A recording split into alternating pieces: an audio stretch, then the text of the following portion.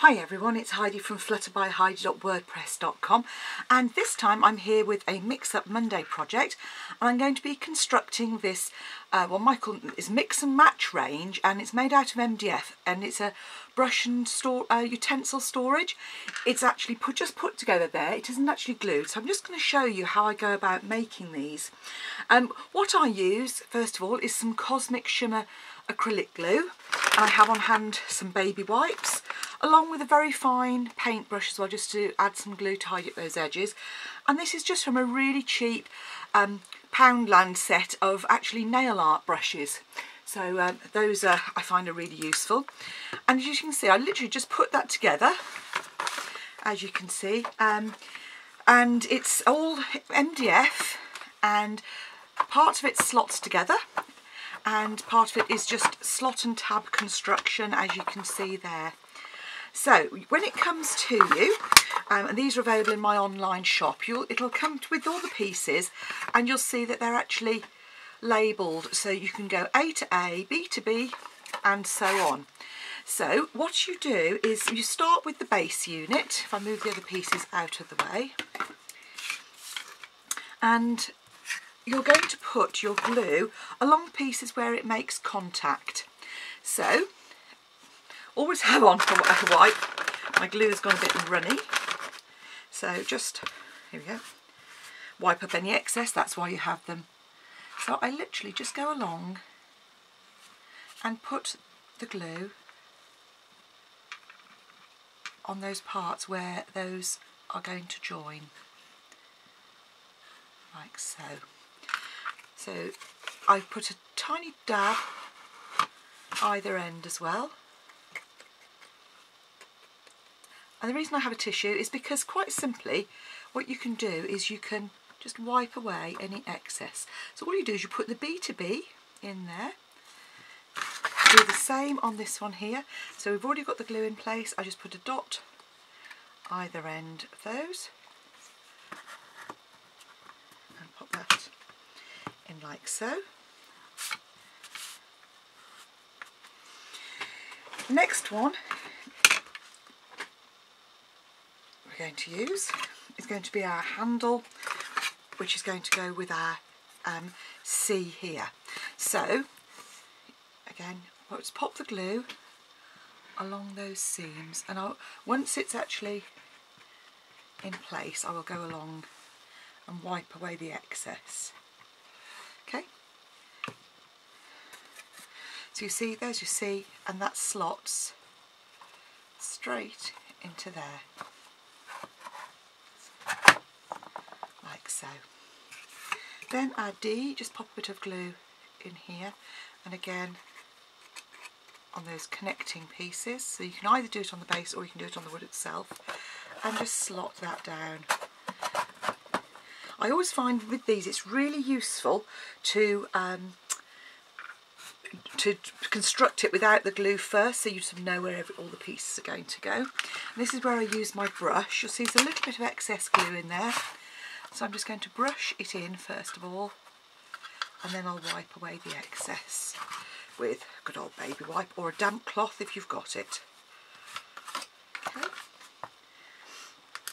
and then you just continue the process on all of the pieces.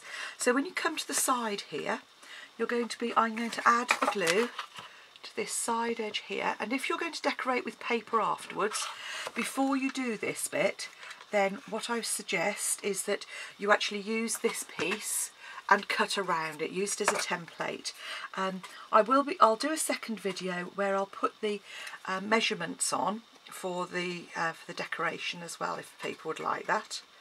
Um, okay, and that just slots on the side there. And if you find it's getting stuck to your base, which you may well do, then don't worry about it. You can just it up and wipe it down. So again, I'm just off camera there, sorry. So again, all I'm doing is I'm putting a little bit of glue on either end. It might be easier if I turn the light like so actually. There we go, might be a bit of a better. And again, up the middle section, up here. And I find the Cosmic Shimmer Glue works really well. Obviously you've got other wood glues as well. And then once I've constructed it,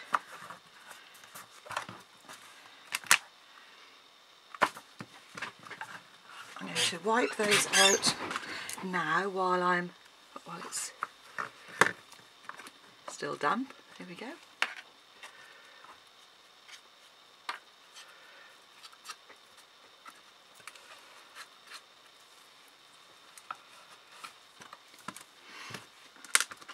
And then we're going to come in with our last piece on the back. So I'm going to turn that up and literally just come along all those sections. So these are bits of indented sections which is where it's going to make contact. Like so. Okay can you see there? So all you do and make sure the letter is on the inside and because unless you're going to cover it with paper otherwise even if you paint it that will be visible. And then what you do is just from the top you see there I'm just making sure those tabs are properly slotted in and they'll go nice and flush. Um, I always paint after I've constructed and the reason for that is because I don't want any excess um, glue or anything on the inside. And before those are solid we just need to do our F at the front because that's held in by our side pieces. So I might need to put a little bit more glue on those side pieces. So just up and down here. Okay. Just ease that out slightly. Line those up with the front slots and then in place like so and again just come in and brush away wipe away that excess. This is all hidden from view so you're not going to see it. And then the final piece.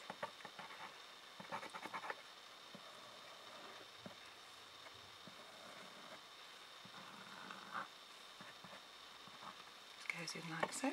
Um, as I was saying, the reason I don't I don't glue at the start is um, because you don't want it to sort of make it more difficult to join your parts together. Um, so there we go. So all I will do now is just wipe away the excess round and I will leave that to dry overnight before coming in and decorating. I find it's a good idea just to add a bit of pressure just to make sure you've got really good bonds on those just for a few moments um, and then as you can see it's a really useful storage tray and the little handle on the top makes it absolutely perfect for when you're crafting on the go because you can just pick it up and take it with you. Um, and as I said, I will be decorating this as well. Um, the first thing I'll do is probably paint it um, and then I'll come in and decorate it with some of our lovely uh, designer series paper. Um, and you can paint it whatever colour you want just use an acrylic paint. Um, those little tester pots that you get from the uh, DIY store are absolutely perfect um, if you want some little bits of colour but you can also and I use some of the Americana acrylic paints the uh, the, the Americana Decor ones because those are really good as well and give really good coverage. Um, so there you go a very quick mix it Monday um, just to show you how my MDF products go together really easily. Um, this is one just one of the items that I stock. I also stock a Stampin' Up ink pad rack holder as well, uh, which holds 32 ink pads. Just uh, pop by my um, on my blog www.flutterbyheidi.wordpress.com and go to the MDF uh, um, items for sale page and you'll see them all there and uh, I'd love to get some off to you so you can make some really useful storage items as well. Thanks for watching. Bye for now.